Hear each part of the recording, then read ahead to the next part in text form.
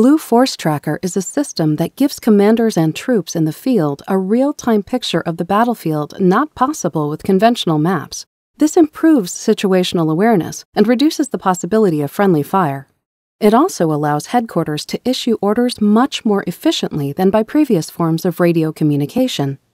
GPS positioning provides the main data source for Blue Force tracking. Unit locations and movements, along with intelligence data on enemy forces and battlefield conditions, are distributed over a satellite communications network that the Army calls FBCB 2. When you uh, get some uh, intelligence, it's time sensitive.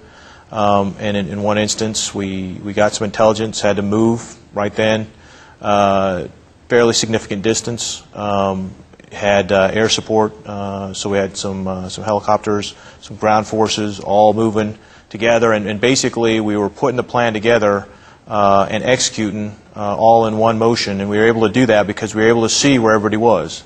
Uh, and so that allowed us to command and control, allowed us to ensure that we minimized fratricide and whatnot in, in doing so. So, I mean, there was a, there's some great lessons learned and some great opportunities for, for using the system. System's a great system when it works.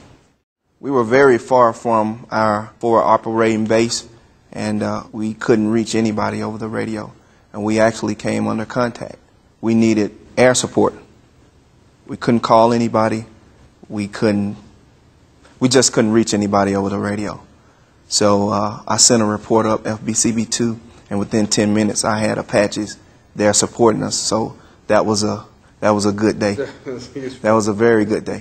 Whether you're going out on an attack mission, a lift mission, or even a medevac mission, Blue Force Tracker provided me, the brigade commander, and my TOC the situational awareness we needed to track our assets across the battlefield and make sure that they had the most up-to-date information required in order for them to accomplish their mission.